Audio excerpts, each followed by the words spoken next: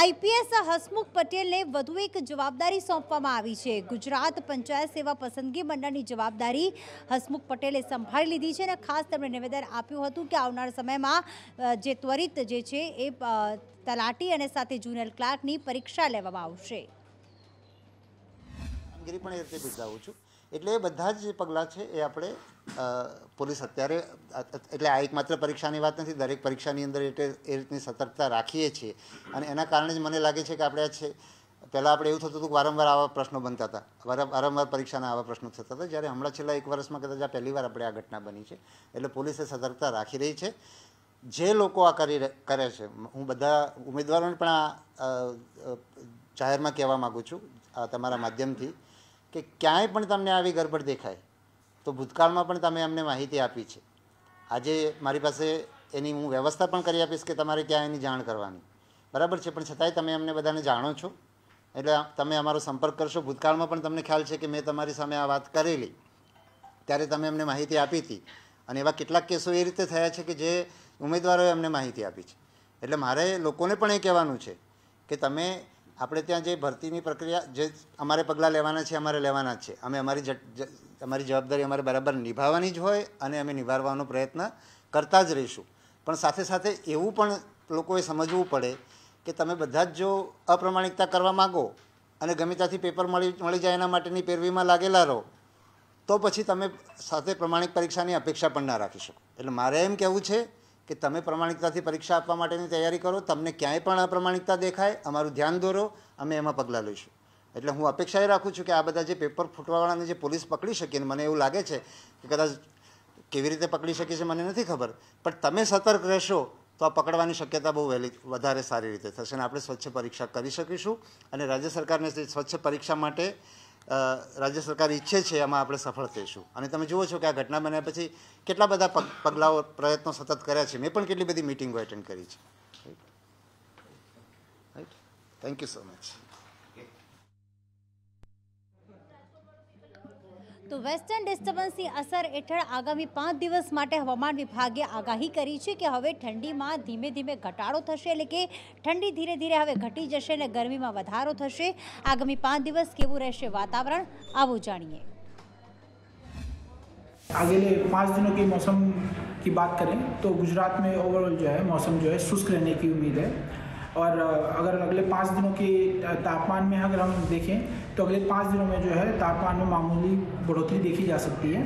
और इसका कारण यह है कि जो वेस्टर्न डिस्टर्बेंस है उसकी वजह से जो मॉइस्चर जो है गुजरात के ऊपर आया जिसकी वजह से तापमान में थोड़ी बढ़ोतरी देखी जा रही है। और अगर हम अहमदाबाद की बात करें तो अहमदाबाद और गांधीनगर की बात करें तो यहाँ भी जो है तापमान में जो है मामूली जो है बढ़ोतरी अगले चार पाँच दिनों में देखी जा सकती है। अभी पाँच, अगले पाँच दिनों के एक हफ़्ते के लिए जो है हमें किसी भी तरह की जो है रेन की कोई उम्मीद किसी भी तरह की क्लाउड फॉर्मेशन नहीं देखी जा सकती है। और अगर हवा की बात करें तो हवा जो है 10 से 12 किलोमीटर प्रति घंटे की स्पीड से जो है માતા પિતા પોતાના સંતાનોની સુવિધા માટે અને સાથે સાથે તેમને સુખ સગવડ આપવા માટે, તેમના શોખ પૂરા કરવા માટે ઘણી વખત નાની ઉંમરે તેમના હાથમાં ટુ વ્હીલર આપી દેતા હોય છે અને સુરતમાં ક્યાંક માતા પિતા માટે લાલબત્તી કિસ્સો સમાન બન્યો છે કે જેમાં એક કિશોર પોતાના પિતાની જાણ બહાર એમનું બાઇક લઈને નીકળ્યો અને તેનું એક્સિડન્ટ થઈ ગયું, તેનું મોત નીપજ્યું છે. આખી ઘટના સુરતમાંથી સામે આવી.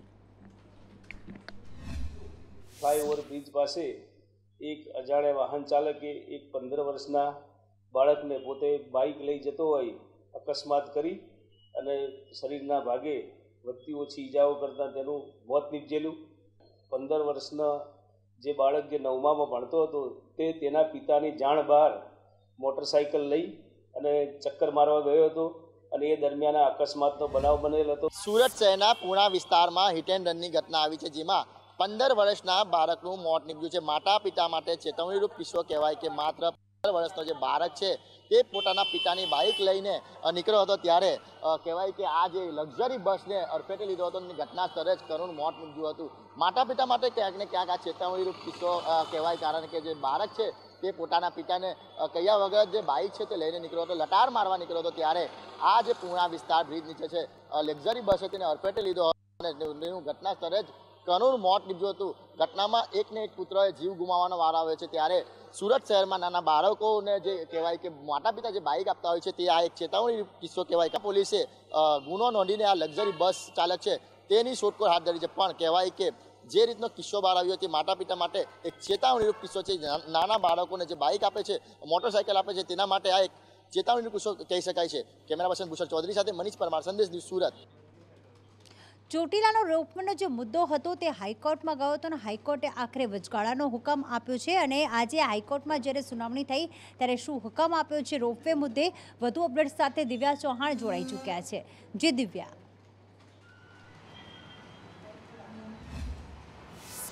પ્રીતિ, ગુજરાત હાઈકોર્ટ દ્વારા ચોટીલા રોપવે મુદ્દે આંશિક રાહત છે તે આપવામાં આવી છે. હાલ પૂરતી જે કામગીરી ચાલી રહી હોય તો તે મોકૂફ કરવામાં આવે. આગામી દિવસોમાં જ્યારે સુનાવણી થશે તે દરમિયાન કોર્ટ દ્વારા મહત્વનો હુકમ છે તે આ મુદ્દે કરવામાં આવશે. પરંતુ હાલ કોર્ટ દ્વારા વચગાળાનો હુકમ કરવામાં આવ્યો છે. મહત્વનું છે કે મંદિરના ટ્રસ્ટ દ્વારા જ કોર્ટમાં અરજી કરવામાં આવી છે કે રાજ્ય સરકારે જે કંપનીને કોન્ટ્રાક્ટ આપ્યો છે તે કંપની બિન અનુભવી છે અને ટેકનોલોજીનો યોગ્ય રીતે ઉપયોગ ન કરતી હોવાની રજૂઆત કરવામાં આવી છે. સાથે જ જો સરકાર દ્વારા નિમણૂક કરાયેલા કંપનીને કોન્ટ્રાક્ટ આપવામાં આવશે, તો આગામી દિવસમાં મોરબીમાં જે પ્રકારે હોનારત થઈ તેવી રોપવેમાં પણ હોનારત થવાની સંભાવનાઓ રહેલી છે. આ પ્રકારનું ઉદાહરણ પણ અરજદાર અરજદાર દ્વારા આજે ગુજરાત હાઈકોર્ટમાં આપવામાં આવ્યું છે, કારણ કે તહેવાર દરમિયાન હજારોની સંખ્યામાં ચોટીલા યાત્રાધામમાં લોકોની ભીડ છે તે ઉમટી પડતી હોય છે અને આ તમામ ભીડ ઉમટી પડતી હોય છે ત્યારે બિન અનુભવી કંપનીને જો રોપવેની કામગીરી કરવા માટેનો સરકારનો જે કોન્ટ્રાક્ટ છે તે રદ કરવામાં નહીં આવે, તો આ આગામી દિવસમાં કોઈ હોનારત થાય તેવી પણ સંભાવનાઓની ભીતિ અરજદાર દ્વારા વ્યક્ત કરવામાં આવી હતી. હાલ પૂરતી કામગીરી જો ચાલતી હોય તો તેના ઉપર રોક લગાવવા માટે ગુજરાત હાઈકોર્ટ દ્વારા મહત્વનો વચગાળાનો હુકમ કરવામાં આવ્યો છે. આગામી દિવસમાં આ મુદ્દે ગુજરાત હાઈકોર્ટ દ્વારા મહત્વનો નિર્ણય લઈ શકે છે. બિલકુલ એટલે કે કોઈ પણ ટેન્ડર વિના સરકાર કઈ રીતે પાસ કરી શકે? જેના માટે હાલમાં સ્ટે મૂકવામાં આવ્યો છે. તો આ તરફ વાત કરીએ તો બિલ્ડર લોબી દ્વારા એટલે કે બિલ્ડર એસોસિએશન દ્વારા હોય કે પછી ક્રેડાઈના સભ્યો દ્વારા જે જંત્રીના ભાવ બાર વર્ષની અંદર એટલે કે બાર વર્ષમાં ન થાય અને ત્યારબાદ બમણા કરી દેવામાં આવ્યા છે. જે મુદ્દે રોષ વ્યક્ત કરવામાં આવ્યો. આજે મુખ્યમંત્રી સાથે તેમણે બેઠક પણ કરી હતી અને પહેલી મેથી આ નવા દરો લાગુ કરવામાં આવે તેવી માંગ પણ કરવામાં આવી હતી. આ બેઠકમાં શું ચર્ચા થઈ, શું કોઈ નિર્ણય લેવામાં આવ્યો કે નહીં, આશુતોષ માહિતી આપશે. જી આશુતોષ.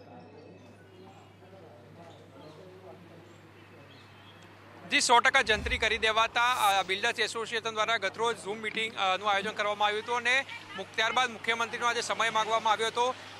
મુખ્યમંત્રી સાથે સવારે દસ વાગે બેઠક જે છે તે શરૂ થઈ હતી અને લગભગ સવા કલાક જેટલી આ બેઠક ચાલી હતી અને તેમાં તેઓ વિવિધ રજૂઆતો કરી છે કે તેમનું કહેવું છે કે જે જંત્રીનો ભાવ છે તેમાં સાયન્ટિફિકલી આગળ વધવું જોઈએ. તેત્રીસ ટકા તેત્રીસ ટકા અને ત્યારબાદ પાંચ ટકા, દસ ટકા એ રીતે ધીરે ધીરે આ જે જંત્રી છે તેમાં ભાવ વધારો કરવો જોઈએ. સાથે સાથે સર્વે જે કરવામાં આવતો હોય છે તે પણ નિયત સમયમાં કરવો જોઈએ. તે પ્રકારની રજૂઆત કરવામાં આવી છે. ઉપરાંત કહી શકાય કે પહેલી મેથી આ ભાવ વધારો લાગુ કરવામાં આવે તે પ્રકારની રજૂઆત પણ છે. કારણ કે અનેક જે પ્રોજેક્ટ છે તે પણ હવે પાઇપલાઇનમાં છે અને તેના કારણે લોકોએ ભાવ વધારાનો સામનો કરવો પડી શકે છે. પરંતુ રાહતની વાત સૌથી એ પણ રહી કે તેમણે કહ્યું છે કે જેની ટોકન્સ અપાઈ ચૂકી છે તેમાં જંત્રીનો ભાવ વધારો લાગુ નહીં પડાય. પરંતુ જે આગામી સમયમાં નવી ટોકન્સ આપવામાં આવશે તેમાં નવો ભાવ વધારો જે છે લાગુ કરવામાં આવશે. અને ત્યારબાદ કહી શકાય મુખ્યમંત્રીએ જે અધિકારીઓ છે તેમની સાથે પણ બેઠક કરી હતી અને આમ આદમીને બોધ ન પડે તેમને કોઈ પણ પ્રકારનું નુકસાન ન થાય તે માટે શું વિચારી શકાય તે માટે પણ લગભગ બેઠક જે છે તે યોજાઈ હતી અને સાંજ સુધીમાં અથવા તો આવતીકાલ સુધીમાં તેમાં પણ નિર્ણય લેવાઈ શકે છે કે જંત્રીનો ભાવ વધારો કઈ રીતે લાગુ કરવો અને ક્યારથી લાગુ કરી શકાય છે? જી. બિલકુલ. તો આ મુદ્દે જંત્રી મુદ્દે વિરોધ પક્ષ પણ ક્યાંક પોતાનો વિરોધ નોંધાવી રહ્યું છે ને સરકાર લોકોને ગેરમાર્ગે દોરી રહી છે, સાથે ભ્રામક વાતો ફેલાવી રહી છે તેવી પણ વાત વિરોધ પક્ષ દ્વારા કરવામાં આવી અને એ પણ કહેવામાં આવ્યું કે જંત્રીનો જે વધારો કરવામાં આવ્યો છે તે પાછો ખેંચવામાં આવે. ત્યારે આ મુદ્દે પૂર્વ નાયબ મુખ્યમંત્રી નીતિન પટેલે આખરે શું જવાબ આપ્યો તે સાંભળીએ.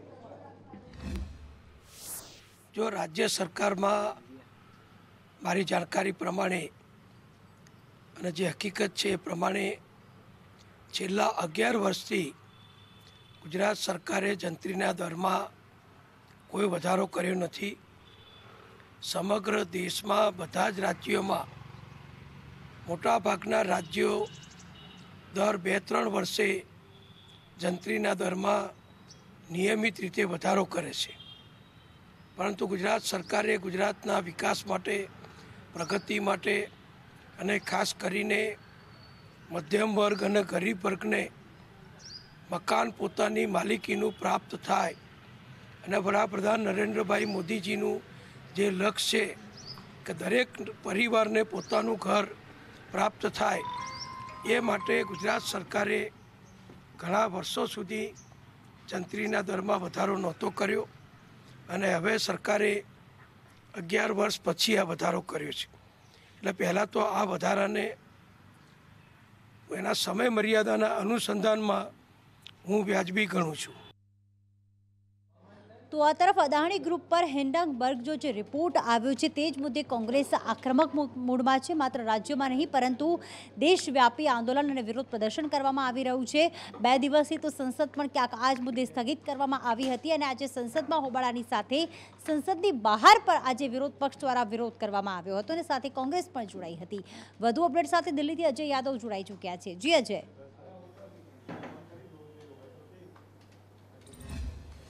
देखिए, निश्चित तौर पे अदानी ग्रुप पे जब से हिडनबर्ग की रिपोर्ट आई है, तब से कांग्रेस आक्रामक है। हालाँकि कांग्रेस की तरफ़ से ये ज़रूर टिप्पणी की गई है कि हम किसी व्यक्ति, खास व्यक्ति के खिलाफ नहीं है, बल्कि ये जो पूरा घोटाला हुआ है, इसको लेकर के इसके खिलाफ है और इसके खिलाफ हम धरना प्रदर्शन कर रहे हैं।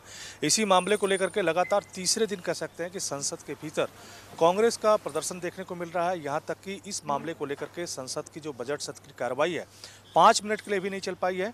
यहाँ तक कि जो जो महामहिम महामहिम राष्ट्रपति की तरफ़ से जो अभिभाषण है उसके प्रस्ताव पे चर्चा होनी है लेकिन उस प्रस्ताव पे भी चर्चा अभी शुरू नहीं हो पाती हो, हो पाई है जबकि बजट सत्र के तुरंत बाद बजट के तुरंत बाद इस पर चर्चा होती है। लेकिन इसी मामले को लेकर के जहाँ संसद के भीतर धरना प्रदर्शन गांधी प्रतिमा के सामने पंद्रह विपक्षी पार्टियों के द्वारा किया गया वहीं कांग्रेस पार्टी का पूरे देश भर में लगातार प्रदर्शन चल रहा है। दिल्ली में यूथ कांग्रेस और एनएसयूआई का प्रदर्शन हुआ। हालाँकि जो कार्यकर्ता प्रदर्शन कर रहे थे, उनको हिरासत में भी लिया गया लेकिन कार्यकर्ताओं की तरफ़ से वह पुतला दहन किया गया और साथ ही साथ ये कांग्रेस की तरफ़ से मांग की जा रही कि इस मामले पर ज्वाइंट पार्लियामेंट्री कमेटी या सुप्रीम कोर्ट के जो चीफ जस्टिस हैं, उनकी अगुवाई में एक कमेटी गठित हो ताकि इस मामले की जाँच की जा सके। लेकिन कांग्रेस ने यह स्पष्ट कर दिया है कि जब तक इस मामले पर कोई न्यायिक कमेटी नहीं बनाई जाएगी, तब तक उसका धरना प्रदर्शन जारी रहेगा और उसी का परिणाम आज पूरे देश भर में प्रदर्शन के रूप में और संसद में गतिरोध के रूप में देखने को मिला है। बिल्कुल तो आ तरफ़ अदानी ग्रुप मामले हिंडन रिपोर्ट, मामले યોગ્ય તપાસ થવી જોઈએ તેવું તો કોંગ્રેસ વિરોધ કરી રહ્યા છે, પરંતુ સાથે કમિશન વધવું જોઈએ. સીએનજી પંપના ધારકો ક્યાંક કમિશન વધારવાની માંગ સાથે હડતાલ પર ઉતર્યા છે અને આખા ગુજરાતમાં તો નહીં, પરંતુ આજ રોજ માત્ર દક્ષિણ ગુજરાતના જે ચારસો જેટલા સીએનજી પંપ છે તે આ હડતાલમાં જોડાયા હતા, વિરોધમાં જોડાયા હતા અને એના જ ભાગરૂપે ક્યાંક લાંબી લાંબી કતારો ગઈકાલ મોડી રાત્રે જે સીએનજી પંપ ઉપર લાગેલી જોવા મળી હતી.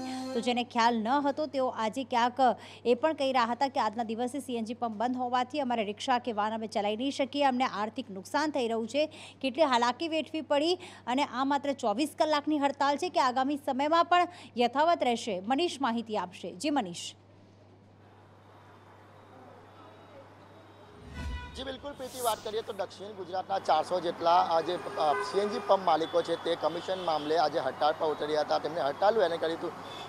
ચોવીસ કલાકના હડતાળનું અલ્ટિમેટમ આપ્યું હતું. સરકાર દ્વારા તેમની કોઈ માંગ નહીં સ્વીકારતા, વારંવાર રજૂઆત કરતા આજે તેમણે ક- કરી હતી. પણ બીજી બાજુ વાત કરીએ તો દક્ષિણ ગુજરાતના જે માલિકો છે તેમના વિપરીત જે ગુજરાત પેટ્રોલ એસોસિએશનના જે કહેવાય કે પ્રમુખ છે, તેમણે આ હડતાલથી, હડતાલના સમર્થનમાં નહીં હતા અને વિરોધ કર્યો હતો કારણ કે જણાવ્યું હતું કે તે આ હડતાલમાં જોડાયા નથી અને તે આજે હડતાલને અયોગ્ય ગણાવી હતી. સરકાર સાથે તેમની વાતો ચાલી રહી છે તેવું પણ જણાવ્યું હતું. એટલે કહેવાય કે જે દક્ષિણ ગુજરાતના જે પેટ્રોલ એસોસિએશન અને જે સીએનજી માલિકો છે અને જે ગુજરાતના પેટ્રોલ માલિકો છે તેમના બે ફાટા દેખાયા હતા અને બંનેમાં વિભાજન દેખાયું હતું.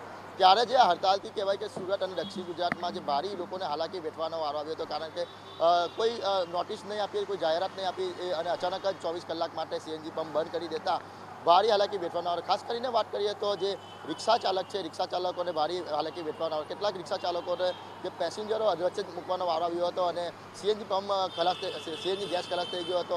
એટલે ગેસ ભરાવતા લાંબી લાંબી કટારો પણ દેખાઈ હતી પણ ગેસ નહીં મળતો નિરાશ થઈ ગયા હતા. એટલે કહેવાય કે દક્ષિણ ગુજરાતમાં જે ચારસો જેટલા પંપ બંધ રહ્યા હતા, લોકોને ભારી હાલાકી વેઠવાનો વારો આવ્યો. ત્યારે દક્ષિણ ગુજરાતના જે એસોસિએશનના જે પ્રમુખ છે, તેમણે જણાવ્યું હતું, ગેસ એસોસિએશનના પ્રમુખ, કે આગામી દિવસોમાં સરકાર જો તેમની માંગ નહીં સ્વીકારવામાં આવે, તો આગામી સોળમી તારીખે અચોક્કસ મુદ્દાથી તેઓ હડતાળ કરશે તેવી ચીમકી ઉચ્ચારી છે અને સરકાર સામે બાયો ચડાવી છે, જી. બિલકુલ. તો આ તરફ વાત કરીએ તો ચણાનું ઉત્પાદન ગુજરાતમાં માત્ર પચીસ ટકા જેટલું થાય છે અને અલગ અલગ કૃષિઓની અને ખેડૂતોની રજૂઆતના પગલે જે રાજ્યના કૃષિમંત્રી છે, તેમણે કેન્દ્ર સુધી રજૂઆત કરી હતી. રાઘવજી પટેલે આજે નિવેદન આપ્યું હતું કે ચણાનું ઉત્પાદન પચીસ ટકા થાય છે, ત્યારે યોગ્ય ટેકાના ભાવ અને સાથે સાથે કમોસમી વરસાદ અંતર્ગત ખેડૂતોને ક્યારે વળતર ચૂકવવામાં આવશે તે અંગે પણ રજૂઆત. રાઘવજી પટેલે આખરે શું કહ્યું એ સાંભળીએ. ગ્રામ વિકાસ ખાતાની જુદી જુદી યોજનાઓ, ખાસ કરીને પ્રધાનમંત્રી આવાસ યોજનાનો ગુજરાતનો જે લક્ષ્યાંક અમને અપાયો છે, એ લક્ષ્યાંકમાં વધારો કરવા માટે કેન્દ્રીય મંત્રી ગિરિરાજસિંહ, આ બધા મંત્રીશ્રીઓને આપણા મારા ખાતાને લગતા જે પ્રશ્નો છે, એના ઉકેલ માટે મેં રજૂઆત કરી હતી. સૌરાષ્ટ્ર યુનિવર્સિટીમાં પેપર લીક કાંડ મુદ્દે ઇન્ચાર્જ કુલપતિએ નિવેદન આપ્યું હતું અને આખરે કહ્યું હતું કે આ મહિનાના મધ્યમાં જે છે એ બેઠકમાં નિર્ણય લેવામાં આવશે. સૌરાષ્ટ્ર પેપર લીક કાંડ અને યુનિવર્સિટીના પેપર લીક કાંડમાં અલગ અલગ નામ સામે આવ્યા હતા. આખરે ઇન્ચાર્જ કુલપતિએ શું કહ્યું એ સાંભળીએ. સૌરાષ્ટ્ર યુનિવર્સિટીમાં સિન્ડિકેટની ખાસ સભા આ મહિનાના મધ્યમાં બોલાવવામાં આવશે અને એમાં જે એફએસએલનો અહેવાલ અને જે એફઆઈઆર એફઆઈઆર જે કરવામાં આવી છે, એ એફઆઈઆર માન્ય સભ્યશ્રીઓના ધ્યાને મૂકીને એના સભ્યશ્રીઓને કહેવામાં આવશે કે નિર્ણય કરો. ભૂતકાળમાં પણ આવી કોલેજ જે સંસ્થાઓમાંથી આવું થયું છે, એ સંસ્થાઓ માટે પણ નિર્ણયો કરેલા છે. હા, એટલું ચોક્કસ. યુનિવર્સિટી અગાઉના લીધેલા નિર્ણયોમાં કોઈ, એવું કોઈ પણ કામ કરશે, તો એમાં બાંધછોડ નહીં કરે. નિર્ણય હંમેશા એક હોય, વિદ્યાર્થીના હિતમાં હોય સમાજના હિતમાં હોય આવા નિર્ણયો કરવામાં આવશે તો આ તરફ તુર્કીમાં સાત પોઈન્ટ આઠની તીવ્રતાનો ભૂકંપ આવ્યો છે. દક્ષિણ તુર્કીમાં આ ભૂકંપના આંચકો અનુભવાયો હતો અને ક્યાંક અનેક ઇમારતો ધરાશય થઈ ગઈ હતી. સિરિયા અને તુર્કીમાં મળીને કુલ પાંચસોથી વધુ લોકોના મોત થયા છે. અલગ અલગ આ દ્રશ્યો કે ભૂકંપથીના ડરથી નાસભાગ મચી ગઈ. ઇમારતો ધરાશય થઈ ગઈ છે. કાટમાળમાં લોકો ફસાયા છે. રેસ્ક્યુ કામગીરી કરવામાં આવી રહી છે. વધુ અપડેટ સાથે માહિતી આપશે મહેશ. જી મહેશ. ચીપ રીતે જણાવી દઉં કે આજે વહેલી સવારે જે સ્થાનિક સમય છે, તુર્કીનો ચાર ને સત્તર કલાકે આ ભૂકંપ અનુભવાયો હતો અને ભૂકંપની તીવ્રતાની જો વાત કરીએ તો ચાર સાત પોઈન્ટ આઠની તીવ્રતાનો એકદમ વધારે મેગ્નિટ્યુડના ભૂકંપ હતો કે જેના કારણે લોકો હજી ઊંઘમાં સૂતા જતા કંઈ સમજે તે પહેલાં જ અનેક બિલ્ડિંગો ધરાશાયી થઈ હતી ને તુર્કી અને સિરિયામાં આ બે જે દેશો જે બાજુ બાજુમાં આવેલા છે, ત્યાં આ ભૂકંપની વધારે અસર વર્તાય છે.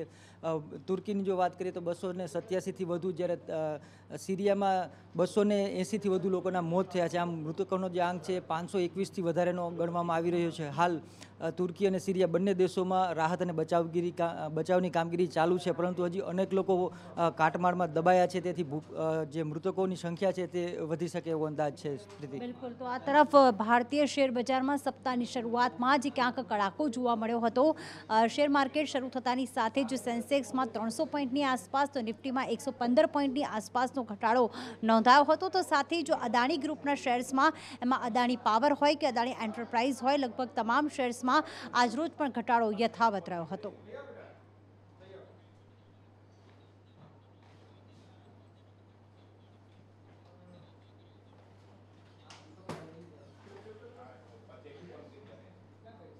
તો વડોદરાના લક્ષ્મીપુરા વિસ્તારમાં સ્થાનિકો દ્વારા હોબાળો મચાવવામાં આવ્યો હતો. કલેક્ટર કચેરીએ તેઓ પહોંચ્યા હતા અને ખાસ રહીશોએ હોબાળો મચાવ્યો હતો. વડોદરાના લક્ષ્મીપુરા ગામના રહીશોનો હોબાળો, ઇન્દિરા આવાસ યોજનાના મકાનો મુદ્દે તે લોકોએ કલેક્ટરને રજૂઆત કરી હતી. સમલાયા ગ્રામ પંચાયત હદની અંદર આવેલા લક્ષ્મીપુરા ગામની અંદર ઇન્દિરા આવાસ યોજના એટલે જ્યાં કને નેવું જેટલા મકાનો છે. વર્ષોથી મકાનમાં રહેનારા લોકો આજે બેઘર થવાના બીકે કલેક્ટર કચેરી ખાતે દોડી આવ્યા છે. કઈ રીતની પરિસ્થિતિ છે અને શું છે એમની સાથે જ વાત કરીશું. શું કહેશો વડેલ કઈ રીતની પરિસ્થિતિ છે ત્યાંથી કઈ રીતની સૂચનાઓ આપવામાં આવી છે? હવે લક્ષ્મીપુરા ગામ સમિયાલા ગ્રામ પંચાયત વડોદરા તાલુકાનું ગામ છે આ. છેલ્લા કેટલા વર્ષથી ઇન્દિરા આવાસ બનેલું છે. ત્યાં ગરીબ પરિવારો વસવાટ કરે છે, પોતાનું જીવન જીવે છે. છેલ્લા કેટલા વખતથી જ્યારનું રોડનું કામ ચાલુ થયું છે, એક્સપ્રેસવેનું, ત્યારથી આ લોકોને વારંવાર અધિકારીઓ આવીને નોટિસો આપે છે, તૂટી તોડી નાખીશું. તમે પૈસા આટલા નહીં લો તો તોય તોડી નાખીશું. તમારે આટલા જ રૂપિયા લઈ લેવા પડશે. હવે બે, ત્રણ, ચાર, પાંચ લાખ રૂપિયામાં ઘ પ્લોટ નથી આવતો તો ઘર મળવાનું છે. આ લોકો સહેજ પણ વિચારતા નથી. આ લોકોએ ખાવાનું છોડી દીધું છોકરાને ભણવાનું બંધ થઈ ગયું છે શિક્ષણ અટકી ગયું છે. એના માટે તોડવાની વાત આવી છે. આ એક્સપ્રેસ વેમાં ઘર જાય છે. જે રોડના જે સર્કલ બન્યું છે એ સર્કલના રોડો પડે છે. એમાં ઘર મકાનો જાય છે. તો અમે એક માંગણી કરી કે વિકાસના કામમાં અમે અટકાવવા નથી માંગતા. પણ તમે ઘરની જગ્યાએ ઘર આપો. આજે આજે એક ઘરમાં દસ દસ, પંદર પંદર વ્યક્તિ રહે, જો તાત્કાલિક ક્યાં જશે? અને ત્રણ ચાર લાખમાં ક્યાં મકાનો મળશે? તો તમારે કશા રૂપિયા નથી જોતા, અમને તો ઘરની જગ્યાએ ઘર મળે ને પંચાયતમાં હું પોતે ન્યાય સમિતિ ચેરમેન છું, સદસ્ય છું. પંચાયતમાં જગ્યાઓ પડી છે, તો એ લોકોને ફાળવી આલો ને સાહેબ. બનાવી આલો મકાનો. સ્થાનિકો ભૂખ હડતાલની ચીમકી આપી છે. આવતીકાલથી જ ભૂખ હડતાલનો પ્રારંભ કરવાના છે. જોવું રહ્યું આજની તારીખનું અલ્ટિમેટમ આપવામાં આવ્યું છે. કલેક્ટરને જો આજની તારીખની અંદર આ નિવેડો નહીં આવે તો આવતીકાલથી સમગ્ર નેવું પરિવારો ભૂખ હડતાલ પર જશે. હિરેન મોદી સંદેશ ન્યૂઝ વડોદરા. તો સુરતમાં રાયન ઇન્ટરનેશનલ સ્કૂલના એક શિક્ષિકા સામે ક્યાંક આક્ષેપ કરવામાં આવ્યો છે. શિક્ષિકા પર આક્ષેપ છે કે તેણે બાળકને હાથ, પગ બાંધીને અને ગોંધી રાખ્યો હતો અને તેને માર માર્યો હતો. પરિવારજનો દ્વારા જે બાળકના પિતા છે તેમનું કહેવું છે કે શિક્ષિકાએ તેને બહેરેમીપૂર્વક માર માર્યો હતો, જેના કારણે તેને તેની તબિયત પણ લથડી હતી ને હાલમાં તે હોસ્પિટલમાં સારવાર હેઠળ છે. જોકે આ મામલે જે સ્કૂલના આચાર્ય હતા, તેમણે પણ ખુલાસો કર્યો હતો, તો પિતાએ આક્ષેપ પણ કર્યા હતા. આચાર્ય અને સ- જે બાળક છે એના પિતાનું શું કહેવું છે એ સાંભળીએ बोला मस्ती करेगा ना तो वापिस में बिठा लूंगी बैग में वरना घर ले जाऊंगी तो वो तो मैं रोया फिर वो बोला चल घर पे मेरे मैंने रोया रोना मन तेरा मैं मेरी मेरा मेरे बच्चे को हमेशा मिस करके जो मैडम है उन्होंने हाथ और पैर बांध दिए और डर- खूब डरा दिया है मेरे बेटे को आज मेरा बेटा ऑक्सीजन के ऊपर है आनंद हॉस्पिटल में किस वजह से मारा था आपके लड़के वो ब- वो इनका बोलना ऐसा है कि बच्चा मस्ती कर रहा था ना इसलिए इसको धमकाया था टीचर ने खुद ने कबूल किया है कि मेरा टोन हैवी पड़ गया इसको इसलिए आपका बच्चा बहुत डर गया है આ બાળકે બીજા બાળકને એક સ્કૂલમાં માર્યું હતું આથી શિક્ષકે એના સાથી શિક્ષકને કહ્યું કે એમને સમજાવે કે મારે નહીં. સાથી શિક્ષકે એ બાળકને એની પાસે બોલાવીને જણાવ્યું કે તારે કોઈને પણ મારવું નહીં. છેલ્લા ચાર પાંચ દિવસથી વાલીનું એવું કહેવું છે કે બાળકને તાવ આવે છે કારણ કે શિક્ષકે એને ગુસ્સો કર્યો છે. પણ આવી કોઈ પણ ઘટના શાળામાં બની નથી. તો આ તરફ અમદાવાદના રામોલ વિસ્તારમાં ફાયરિંગની ઘટના બની છે. દત્તા મેમણ જેલમાંથી છૂટ્યો અને તરત જ ફાયરિંગની ઘટનાને અંજામ આપ્યો હતો. અમદાવાદના રામોલમાં ફાયરિંગની ઘટના સામે આવી છે. વારંવાર અમદાવાદમાં ક્યાંક અત્યારે જ્યારે ગુનેગારો બેખોફ થઈ રહ્યા છે, વાહનની લેવેજ બાબતે માથાકૂટ થઈ હતી અને બે રાઉન્ડ ફાયરિંગ કરીને આખરે આરોપી ફરાર પણ થઈ ગયો. રામોલના પરિશ્રમ કોમ્પ્લેક્સની બહાર ગત મોડી રાત્રે થયેલા ફાયરિંગમાં ફરિયાદી અને આરોપી બંનેનો ગુનાહિત ઇતિહાસ સામે આવ્યો છે, જેથી પોલીસે સીસીટીવી મેળવી આ ગુનાના આરોપીને ધરપકડ માટેની કાર્યવાહી શરૂ કરી છે. સાથે જ આ ગુનામાં ફરિયાદીનો પણ ગુનાહિત ઇતિહાસ સામે આવ્યો છે, જેથી તેની ફરિયાદ કેટલી સાચી છે તે માટે એફએસએલની પણ મદદ લેવામાં આવી રહી છે. ત્યારે જોવું એ રહ્યું કે પોલીસ તપાસમાં શું હકીકત સામે આવે છે. કેમેરામેન મેહુલ પટેલ સાથે જિગ્નેશ પટેલ, સંદેશ ન્યૂઝ અમદાવાદ. તો આ તરફ રાજકોટમાં ક્યાંક મહાનગરપાલિકાની બેદરકારીના કારણે એક યુવાનનો જીવ ગયો. ખાડામાં પડતા આ યુવાને જે છે એ પોતાનો જીવ ગુમાવ્યો હતો. રાજકોટમાં ખાડામાં પડતા યુવકના જે મોતનો જે સમગ્ર કેસ છે, પોલીસે કોર્પોરેશનના કર્મચારીઓની પૂછપરછ શરૂ કરી હતી. થોડા દિવસ પહેલાં આ આખી ઘટના સામે આવી હતી. મયુર માહિતી આપશે. જી મયુર.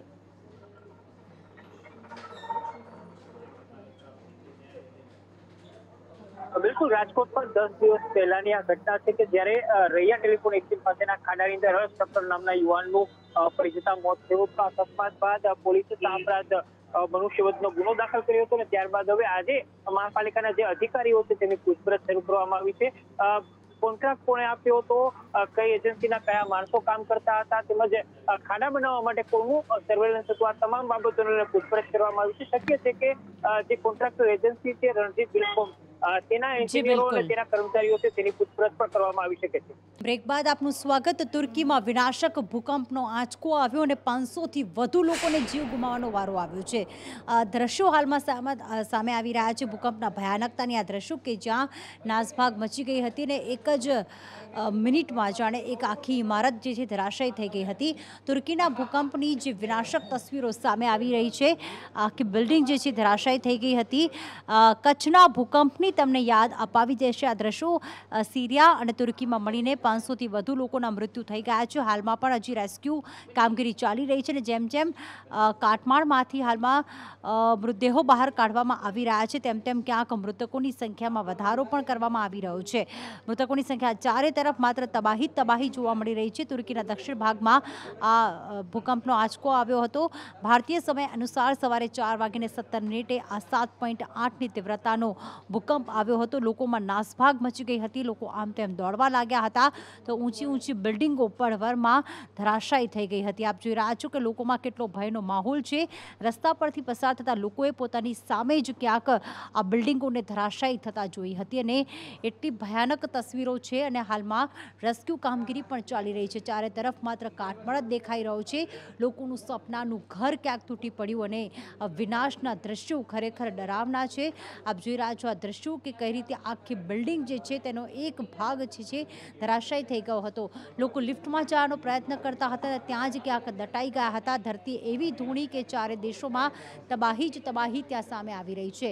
ચારે તરફ માત્ર કાટમાળ જ જોવા મળી રહ્યો છે અને આ કાટમાળની અંદર અનેક જિંદગીઓ હજી પણ ફસાયેલી છે. અનેક સપનાઓ હજી પણ ફસાયેલા છે. કેટલાય લોકોને જીવિત પણ બહાર કાઢવામાં આવી રહ્યા છે.